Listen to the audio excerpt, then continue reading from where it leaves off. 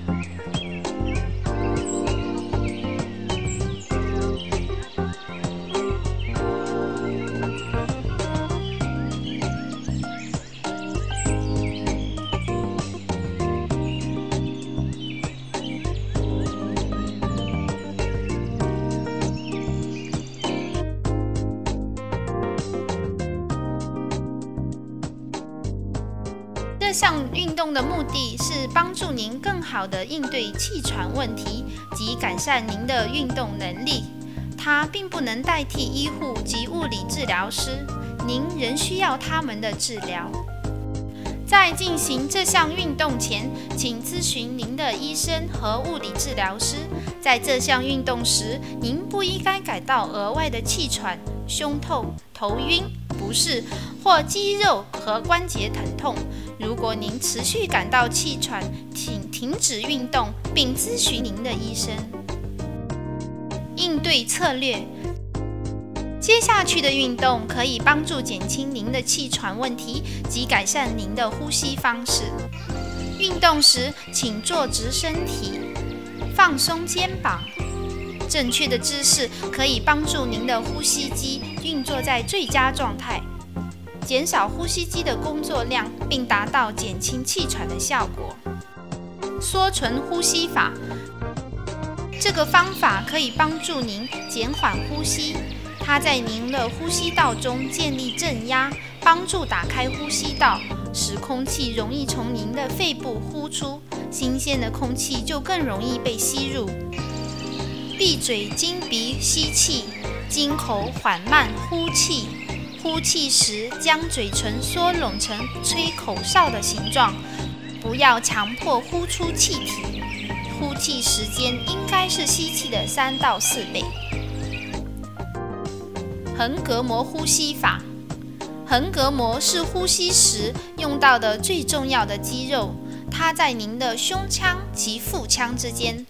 正确的使用可以让您用较少的力气吸到更多的空气。摆放您的一只手在您的胸部，另一只手在腹部。当吸气时，让您的腹部移动您的手上升。当呼气时，放松你的腹部，使它回到原来的位置。在呼吸时，您的胸部应该保持不动。持续的做这项运动，可以帮助改善您的呼吸方式。开始时，您可以在休息的时候练习这个呼吸法。之后，您甚至可以在走动或运动时运用这个呼吸法。减轻气喘姿势，这个姿势可以放松您的肩膀和胸部，让您的横膈膜可以更好的工作，特别是在您需要您控制呼吸时。在坐下时，手和前臂放在大腿上，手臂靠在桌子上。在站立时，手臂支撑在墙上。如果无法找到墙壁，你可以找任何一个可以依靠的地方靠住，然后使用缩唇呼吸法。上身运动法：将双臂交叉在胸前，身体从一侧转到另一侧，同时协调您的呼吸，缓慢升起您的双臂，吸气，缓慢放下您的双臂，呼气。或者将您的双臂交叉在胸前，慢慢张开双臂，吸气，收回双臂到原来的位置，呼气，重复五到十次以上的两项运动。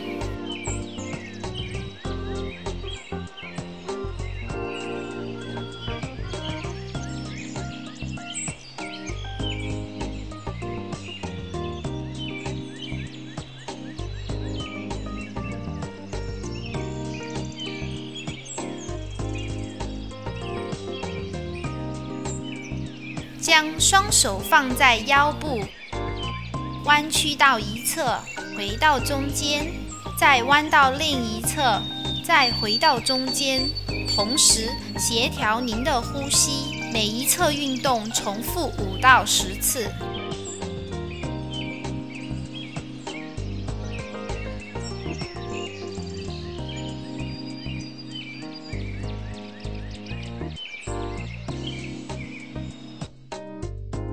下肢运动法，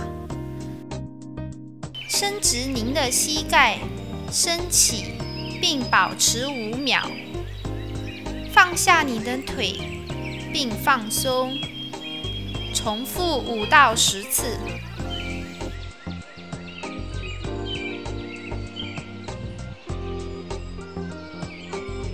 坐站运动，倾斜您的身体向前。抬起您的臀部，离开椅子，慢慢站直，回到坐姿，重复五到十次。